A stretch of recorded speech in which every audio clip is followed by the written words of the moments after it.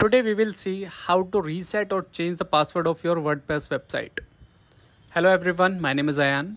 Let's get into the video. Just open your website and click on dashboard. Go to the dashboard of your website and click here on the top right corner.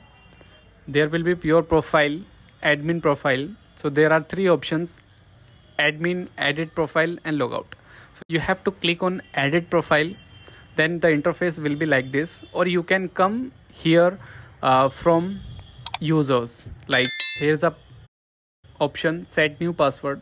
You have to put some strong password with special characters and numeric values.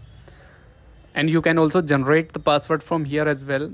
Update profile then your profile will be updated and the password has been changed